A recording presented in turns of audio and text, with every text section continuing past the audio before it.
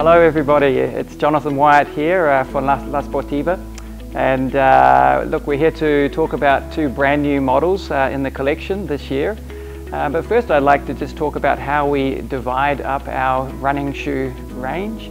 Uh, I think it's uh, important to understand how the running shoes fit your feet and also how we divide up the range of shoes that we have in the collection. So we really start from our story of climbing where it's really important to get the fit of the shoe correct. And so we divide also our running shoes in terms of volume. So we have the more precise uh, tighter fitting shoes which give you a really good foothold. Uh, moving up to the shoes which have a more generous volume and allow the foot to expand and contract. And you'll also see that the range is also divided in terms of distance. So our shorter distance shoes will have a more precise and close fit, whereas the longer distance shoes will have a more generous and there'll be a bit more volume in the shoe for the foot to expand and have more room for the longer distances where you really want to have, a, have the most comfortable shoe possible.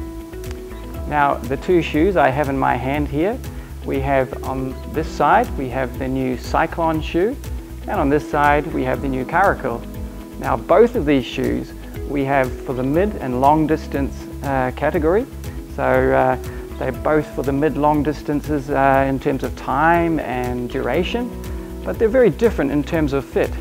So the Karacal here is a shoe which is very, very comfortable, very light and breathable, and this is a shoe which will fit really a wide range of feet and be very good for, for long distances, especially on more smooth and, and um, smooth and easy running trails.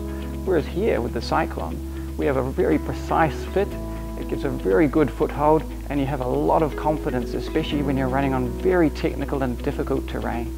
So this will give you a lot of confidence on very difficult steep sections and downhill.